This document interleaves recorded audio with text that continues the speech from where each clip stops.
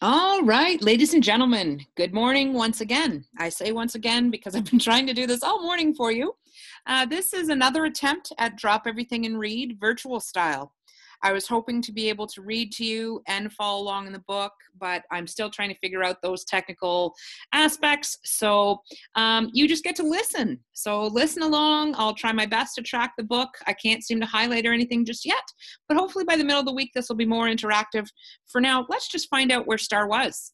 Um, as we know, Starr and her family were visiting with Miss Rosalie. Who's Miss Rosalie? Well, I know if I were talking to you guys, all the hands would be up saying, well, that's Khalil's grandmother. We know Khalil was Starr's friend. Starr's friend ultimately was killed by Officer 115. And we are having the first interaction with Starr and Khalil's grandmother since Khalil's death. Here we go. A big wide smile spreads across Miss Rosalie's face.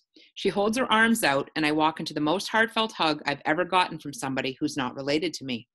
There's not any sympathy in it either, just love and strength. I guess she knows I need some of both.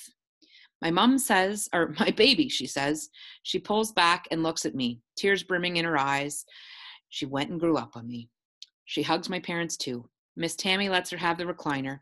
Miss Rosalie pats the end of the sofa closest to her. So I sit there. She holds my hand and rubs her thumb along the top of it. Mmm, she says. Mmm. It's like my hand is telling her a story, and she's responding. She listens to it for a while, then says, I'm so glad you came over. I've been wanting to talk to you. Yes, ma'am, I say what I'm supposed to. You were the very best friend that boy ever had. This time, I can't say what I'm supposed to. Miss Rosalie, we weren't as close. I don't care, baby, she says. Khalil never had another friend like you. I know that for a fact. I swallow. Yes, ma'am. The police told me you were the one with him when it happened. So she knows. Yes, ma'am. I'm standing on a track watching the train barrel toward me, and I tense up and wait for impact the moment she asks, What happened? But the train shifts to another track. Maverick, he wanted to talk to you. He wanted your help. Daddy straightens up. For real? Uh huh. He was selling that stuff. Something leaves me. I mean, I kind of figured it out, but I know, but to know it's the truth, this hurts. But I swear, I want to cuss Khalil out. How he could sell that very stuff or the very stuff that took his mama from him? Did he realize that he was taking somebody else's mama from them? Did he realize that if he does become a hashtag, some people will only see him as a drug dealer? He was so much more than that, but he wanted to stop. Miss Rosalie says, He told me, Grandma, I can't stay in this. Mr. Maverick said it only leads to two things the grave or the prison, and I ain't trying to see either. He respected you, Maverick a lot. You were the father he never had. I can't explain it, but something leaves Daddy too. His eyes dim and he nods. Mama rubs his back. I tried to talk some sense into him, Miss Rosalie says, but this neighborhood make young men deaf to their elders, meaning that young men won't listen to people with experience. The money part didn't help. He was going around here paying bills, buying sneakers and masks, but I know he remembered the things you told him over the years, Maverick, and that gave me a lot of faith.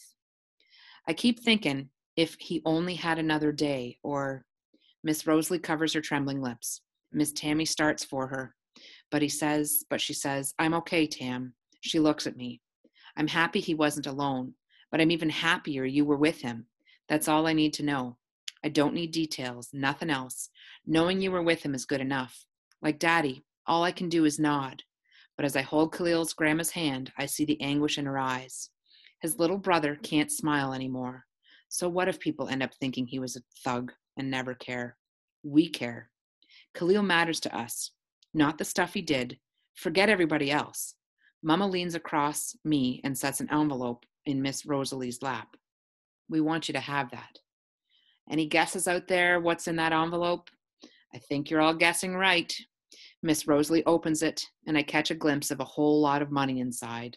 What in the world? Y'all know I can't take this. Yes, you can, Daddy says. We ain't forgot how you kept Starr and Sekani for us. We weren't about to let you be empty handed. And we know y'all are trying to pay for the funeral, Mama says. Hopefully that'll help. Plus, we're raising money around the neighborhood too.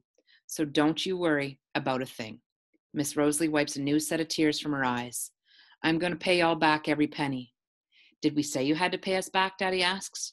You focus on getting better, right? And if you give us any money, we giving it right back. God's my witness. There are a lot more tears and hugs. Miss Rosalie gives me a freeze cup for the road, red syrup glistening on top. She always makes them extra sweet. As we leave, I remember how Khalil used to run up to the car when I was about to go. The sun shining on the grease lines and the separated and the grease lines that separate his cornrows. The glimmer in his eyes would be just as bright. He'd knock on the window, I'd let it down, and he'd say with a snaggletooth grin, See you later, alligator. Back then, I'd giggle behind my own snaggle teeth. Now I tear up. Goodbyes hurt the most when the other person's already gone. I imagine him standing at my window, and I smile for his sake. After a while, crocodile. We're going to pause there. Our next session will begin, or there'll be another link for the next session uh, in approximately 20 minutes. Hopefully, I can figure this out. In the meantime, I want you to reflect on a time that you had a nice visit with a family member or relative. Perhaps you're doing it now and you're reminiscing about old times with friends, or maybe you just want to think back to a friend where you had an inside joke or a statement like Khalil and Starr had. See you later, alligator. After a while, crocodile. Think about it. We'll see you soon. Thanks for tuning in. Watch your hero for the next link to the next session. Thanks for joining us.